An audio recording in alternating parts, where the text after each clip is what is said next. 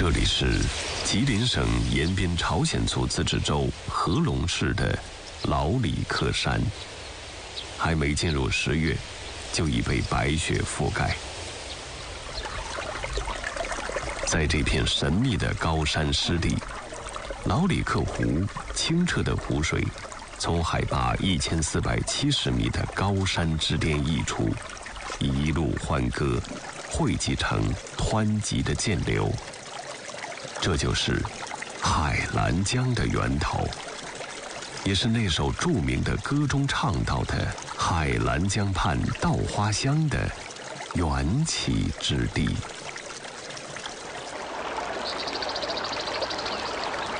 海兰江又名海林江，源于满语，意思是榆树。江畔曾是榆林茂密的荒地。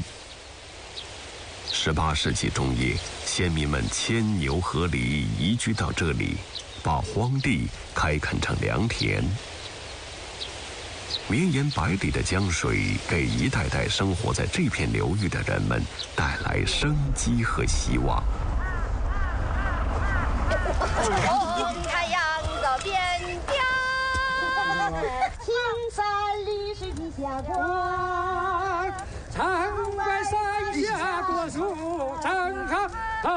江畔稻花香。离开高山，大地先保着寒雪的云水山上的。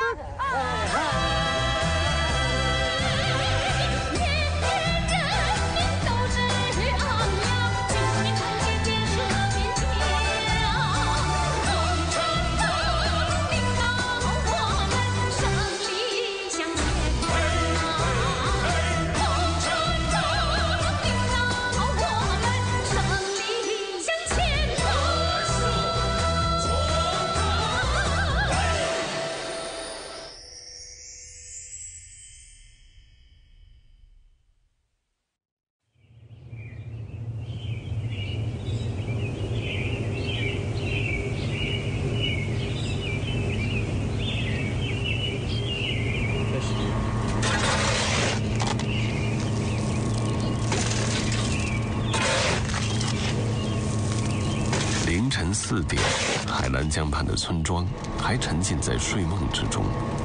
五十九岁的秦思祥已经在镇上的锅炉房开始了一天的劳作。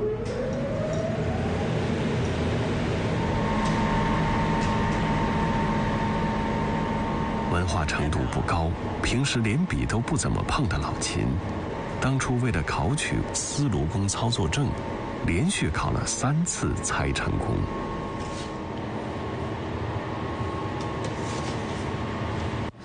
我是这个人，就是一不靠，二不赖，就这样。我凭我自个能耐，我能干我就干，不能干再说。从一五年开始，那个那贫困户嘛，我一七年我就脱贫了，这是马上六十了，今年五十九了，马上六十了。经过的坎坎坷坷啊，绊绊的啊，老多了是。一生一世不容易，现在没办法，以后我得拼命干，为了儿女，为了老婆孩子，我得干。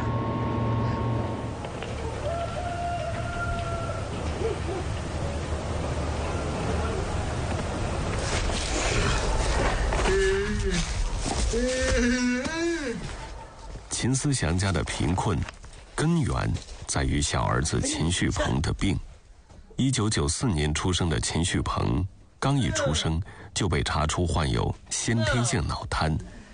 从那时起，这个家就开始了长达二十多年的求医问药的历程。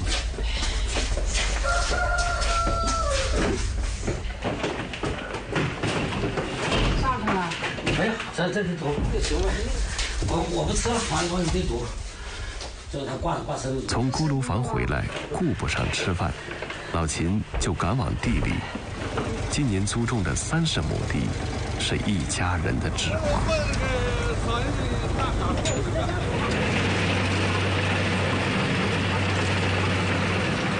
现在最高兴的季节，黄金嘛，收收粮食了，把钱到家了，这就是最最满意、最高兴的时间。如海兰江畔大多数农民一样，水稻是老秦种植的首选。江畔平原光照充足，温度适宜，雨水充沛，是种植大米的理想环境。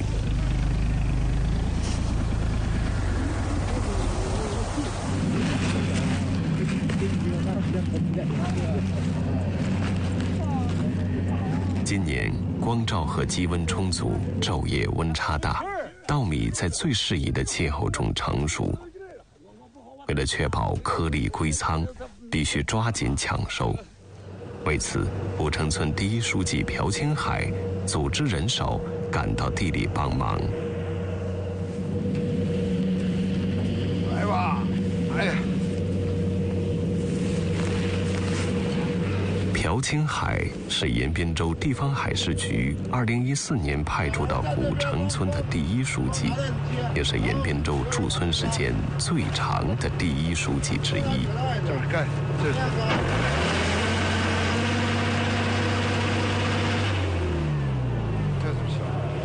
老秦既是他的包保脱贫户，也成了他无话不谈的好朋友。今天能打？多少啊？今年我现在那估计可能是稻子是两两万五千斤左右吧。两万五千斤能米能出怎么出两万斤米吧？两万斤米出不来，差不多吧。那你这个今年收成五万块钱啊？毛收入嗯五万块钱吧。五万块钱啊？收入嗯五万块钱啊？总的来说比去年是强。比去年强嗯嗯。今天怎么是？今天我一个人干的，一个人呢？对呀，插秧我自己，就是那个我侄，就是那个老王婆，老王那个下下中银，啊啊啊，他来给我补补苗，我自个挑苗，自个插，自个整，都是我一个人，我没雇人今天。行，我这么说，你先这个压他一千斤，嗯，让他们尝尝鲜儿，尝尝鲜儿好吃，那不用。我自己上来了，包包装袋也好，不包装袋也好哈，你把我那个电话给我签上，我的名字给我签上。对，如果不好吃，我送过来，百分之百我就赔了。哎，对，你看怎么样？行，我敢有这个保证。好，这个大米要是不口感不好的话，我有一一赔十，我敢那么我敢那么保证。你大米有质质质量好，你才能卖好价钱。你这么算的，一年毛收入得十万块钱呢。嗯，差不多。哎呀，差不多啊！要不能脱贫吗？摘下贫困帽子是古城村七十五户贫困户的美好愿望，也是朴青海当初撇家舍业驻村时立下的目标。自二零一六年，国家开始全面脱贫攻坚。贫困户的数目逐渐减少，古城村也焕发着新的精气神。我觉得扶贫应该是这个扶志思想和智慧啊，等靠要就是不行的啊，你必须得发挥你自己的能力。你只要是有路子，那就是政府的政策也好啊，我们这个包保单位的政策也好，都给你开绿灯的。嗯，那么反正这些不努力的，我们怎么办呢？那就得我们就得推，那么推来什么呢？让他吃甜头，吃什么甜头呢？推完了以后，他干以后产生的钱多了，来的多了，以后就不用推，他自己就上去了，啊！咱们脱贫就得达到这个目的。哎，老大好吧？后一车了！哎，后一车了！快了，马上结束。最后一，快了，还有两个呢。嗨嗨，哎，高兴了，嗯，快两个把袋子，两个把袋子，有多少？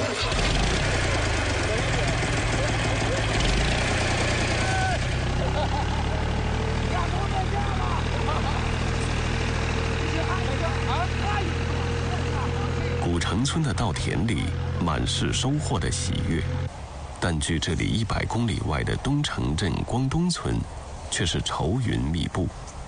面对大片成熟的稻田收还是不收却成了一个难题。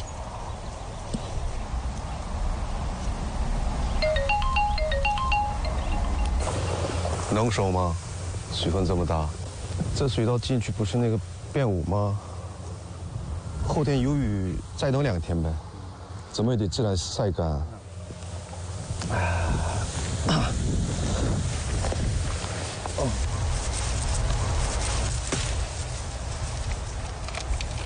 为收割而发愁的金军是合隆市东城镇光东村的致富带头人。二零零九年，在日本读书的金军毅然回到了家乡。对，小时候每天就出来在这个地上来回跑，抓鱼、游泳。这对对我来说，嗯，很有感情的一片土地。就我们之前做那个农活也是，父母带着我到这个地里头，什么插秧、收割都做过。那我也是回来之后才感受到回到家乡的味道是这么舒服的。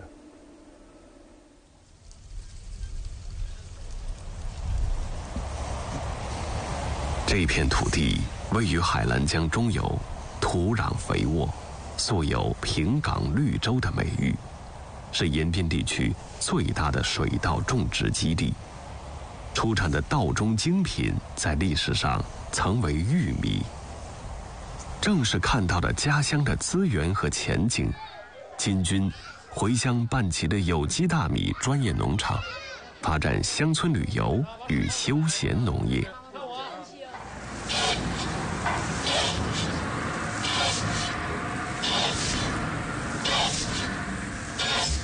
有机大米早已成了光东村的金字招牌。为了保证大米的品质，金军在近几天多变的天气里，时刻监测着稻子的含水量。这明天下午差不多了，哦，明天下午就差不多。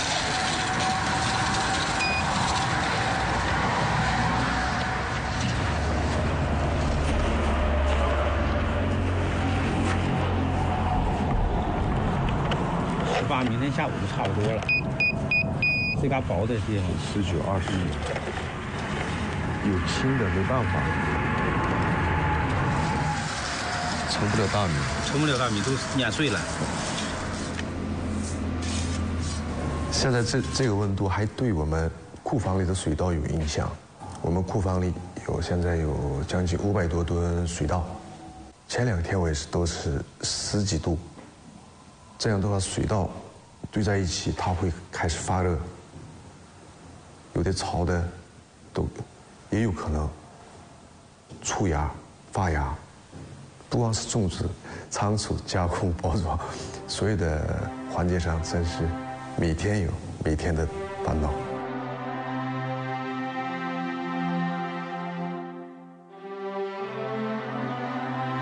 秋收是一年辛勤劳作的终点。更是庄稼人的命脉。但金军在范畴无法收水稻的时候，汪清县鸡冠乡大北沟村的村主任林岩也因为牛踩坏了庄稼而着急。你说这连秋末晚了，你说你再等两天放不行吗？馒头的底下全把子倒了。哎呦！你听听这牛。马上过来，你这玩意儿它不行啊，这样是不是啊？都不容易，是不是啊？嗯。那棉絮七八个牛呢，都搁那苞米地一顿给人扒着，你快来过来，快调解调解，你再起来啊！哥，那你知道老段地头这啥吧？那这个倒了哈，它就都压里了，收不起来了。再往下走走，看看他人，要不招那一下，不知道搁哪。三十一岁的村主任林岩面对突发的状况，喊哑了自己的嗓子。正值秋忙，他希望把矛盾尽快解决。所以说嘛，不你听说，你俩家的牛啊，把人家地吃了，对吧？哎呀，看牛再说。上哪看你得等吧。牛上哪去了？我上哪去找上那村吧。你你你两家牛在一起，是不是？人家说了，你他牛多，你牛少，你们在一起合计合计，把这个。到那儿还就还还能给钱呢？怎么的？你说啥呢？你再说一句。这你怎么说话你？你会不会说话？咋的？你调不调解事儿？你家牛没吃家地啊？那你还能不赔了？赔呀！赔你就过来研究研究完事儿了，让司法局来给你解决啊！你真东西不赔啊？养牛有理啊！那是另你现在买苞米，五六毛钱一斤，就也就这个价呗，还。怎么？我早就知道。我告诉你，我天天买苞米，我知道我不想听你俩买苞米了。我这样，大叔，要不你俩就给他拿新鲜苞米给人家完事儿，这事愿意多少钱？八毛钱、一块钱、五块钱一斤，跟咱没有关系。你俩这事咱就解决，就拉倒，该干啥干啥。我不能给苞米，我只是给钱。啊我我的牛都给你，你爱怎么地怎么地。你找公社也行，找哪也行，找县也行。真的？真的。这胡事儿，这你说的。行，随便。嗯，行。局面再次僵持，村民不欢而散。为了不让矛盾进一步激化，林岩打算赶往村民家中继续调解。过来吧，咱自己过去看看吧。上哪？上工业村家，你知道吧？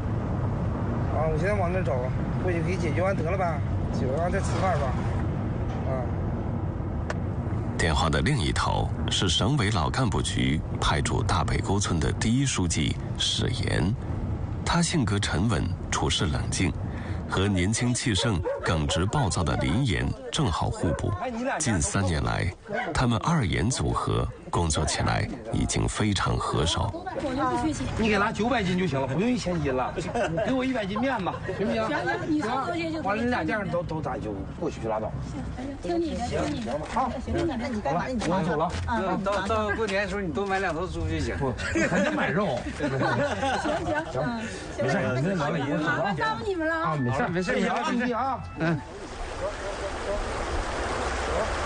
年长八岁的史岩，如今已是林岩的主心骨。在脱贫攻坚的道路上，他们的步调一致，同心协力，源自一次次的碰撞与磨合。到村里头一天，没有任何人接待我，第一个人我我自己全村走了一遍。那个时候走，哎呀，就是道也没修，完全都是坑坑洼洼的那种那个那个道路，而且散牛散马，啊，一走羊一群。呼过来，一群牛呼过来，马地下全是羊粪、马粪、驴粪。另外，咱俩咱刚现在做这个凉亭，过去是一片垃圾场。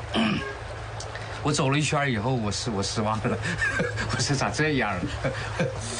当时是跟村长啊、村书记，包括党员代表来了之后，我们也开过这个几次会议。嗯，一开始呢，他们是觉得这个农村就应该这个样。嗯他们也是住习惯了，我也没没有没有什么招法，没有什么办法，也也也刚来也没法去说服他们。这样是后期，包括这个大环境啊，要求乡村这个卫生啊、美丽乡村的各个方面呢。当时我没有什么出发点，就是一个笨方法，你们不干，我干。进村第一天呢，村里有一家办事情喜事儿，有个小伙结婚，嗯，他给我记得我记得最清楚，他给我打电话，说那什么。我到村部了，我说啊，我说我有事儿，啊，完了，他说那个，呃，你咱俩过来聊聊天我说我没有空啊，我说我得有事儿，我说我得去喝宴喜酒去啊，我说我没时间，哦，就就这个事这他就那天呢，我们俩也没见面，后来呢，他又给我打电话，寻思寻思，反正也没啥事儿哈，就跟他聊聊天呗，看看他啥意思啊，见见这个人到啥样，就跟他唠。我说你有没有啥想法？你这村里，我说我没啥想法，啊，我说这村里不挺好吗？说你这个街道现在这么埋汰，你，村里现在这么脏乱，你没有这新农村现在政策这么好，不想打把这个打造成美丽、美丽漂亮的自己的村庄吗？毕竟自己搁这长期居住的哈。我说我没那心劲儿，我也没那想法。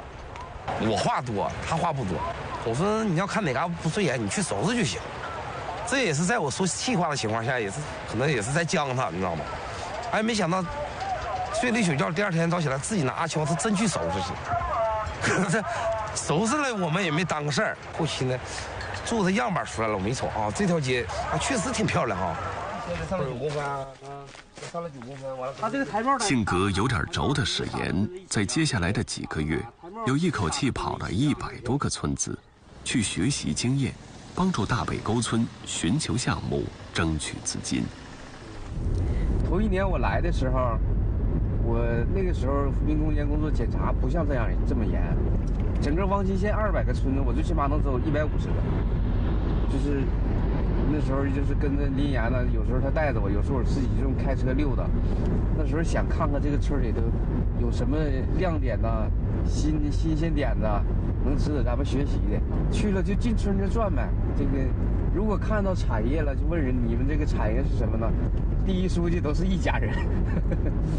去了之后就说我是哪个哪个村的第一书记啊，那都非常客气，问一下村里怎么什么情况啊，都给介绍。史岩的眼界和干劲儿赢得了林岩的认可，也赢得了全村百姓的信任。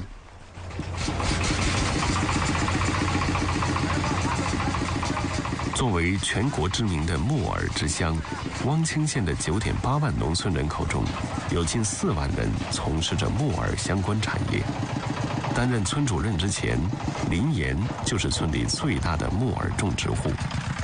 依托林岩，史岩进一步推进了村里的木耳产业，争取资金一百七十多万，为村里建起了菌包厂。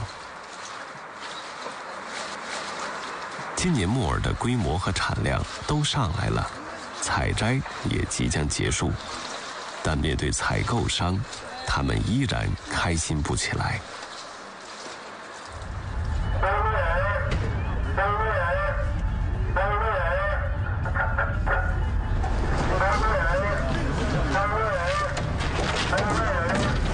南方的客户啊，南方的，湖北的。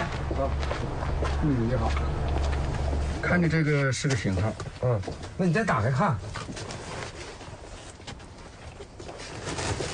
好木耳，这边汪星的木耳，在我们这边木耳木耳确实好。我们这边品质，因为大北的木耳像我们村的木耳品质更好。水咱都是都是山上水下来的，这都这边都是三沟子两三家一沟，是不是啊？这这个东西吧，真吃。嗯，再订一袋，在外面看看。好。要多少钱？这个，嗯，四十五打不了吗？嗯，四十五就行吗？这个菜？对，有一点。你要是对对好的，不知道能不能做到。我感觉到值不了。你感觉怎么样？嗯。价格这么低呀、这百姓真受点菌呐，都做的啊，好的东西卖不出好价格，好东西卖不出好价格。今年真是，真是哈。如何提升产品价格？是否应该创建自己的品牌？林岩和史岩开始了新一轮的探讨。就在他们进行激烈争论的时候，百草沟镇的仲平村面对同样的问题，已经抢先了一步。他们开始着手为自己的品牌进行宣传。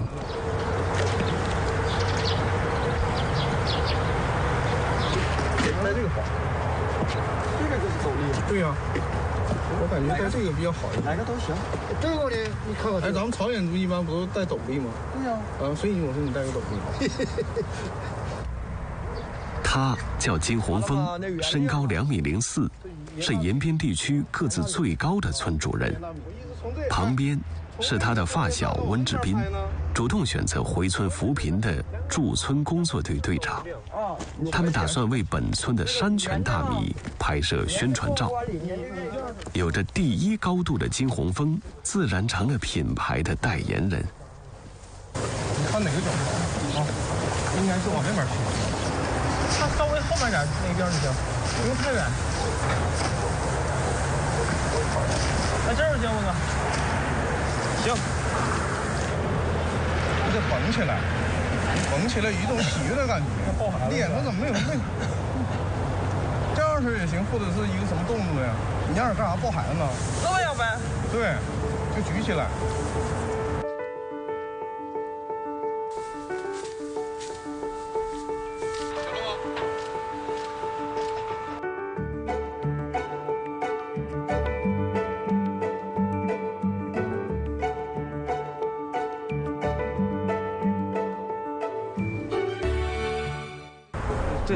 能体现出来他个子高。啊，对呀、我整稻草人的缘故也是能体现出为什么要经常这个。本来你是你就是水稻多高，大伙也都大概心里有数。那也是，他有一个那个类似于虚拟人物在那儿，你还不能把他整一个人在他边儿知道吧？因为这个东西你是要拿他做代言，对，你就不能太去刻意去展示别人的。对，摆造型不仅摆造型，还还得要。你好，小宝贝。因为还有一个又来了。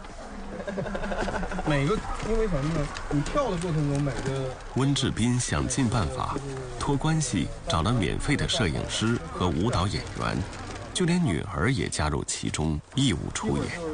他照完了，他照看，马上完了甩几下这个在这儿，然后呢，一会儿呢就是你领着他，就刚才那种效果，就是他的拿着这个麦穗儿，然后你呢就是一个领着他，完了你摸着麦穗儿，完了他在前面呢拍这种，一定要有这种感觉，因为咱们这个水道是吉林延边，中国最大的朝鲜族聚集区，勤劳勇敢的人们。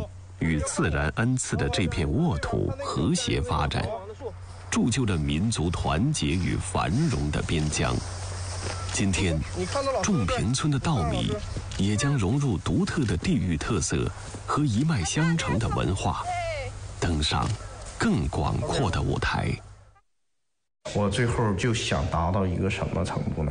就是说，慢慢的地都收回来，让老百姓自己去，还去种这些东西。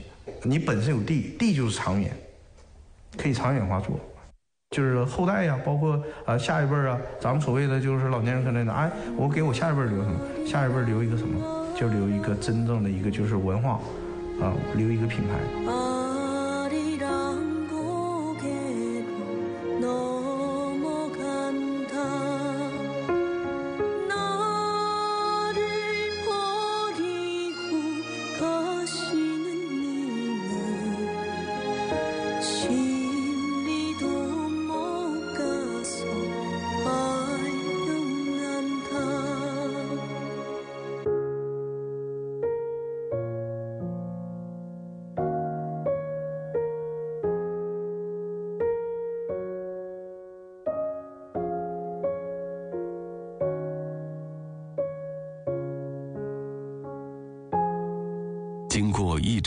阳光的滋养和风的抚摸，海南江畔的稻田愈发金黄。